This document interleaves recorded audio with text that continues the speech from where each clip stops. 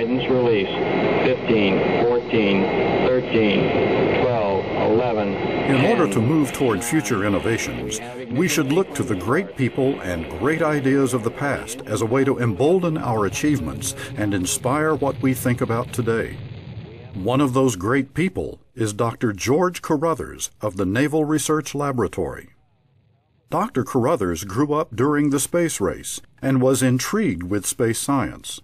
From a young age, he began building telescopes and model rockets and read avidly in local libraries. Following his graduate studies, he accepted a position at the Naval Research Laboratory in Washington, D.C. Throughout his tenure at the Naval Research Laboratory, Dr. Carruthers has focused his attention on far ultraviolet astronomy. In 1969, he received a patent for his pioneering instrumentation, Image Converter for Detecting Electromagnetic Radiation, especially in short wavelengths. In 1972, Dr. Carruthers' far ultraviolet camera spectrograph was sent to the moon with the Apollo 16 mission.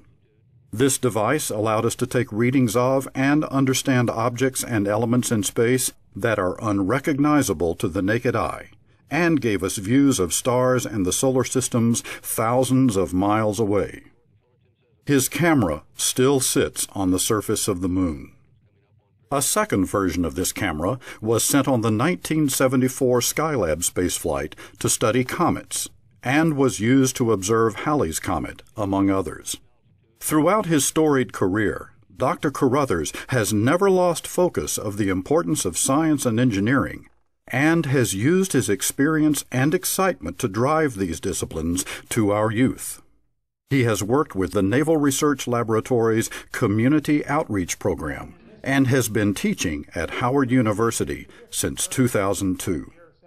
The Office of Naval Research and the Naval Research Laboratory would like to thank Dr. George Carruthers for his numerous contributions to naval science and technology during his 45 year career and for his continued work in the community to inspire the next generation of young scientists.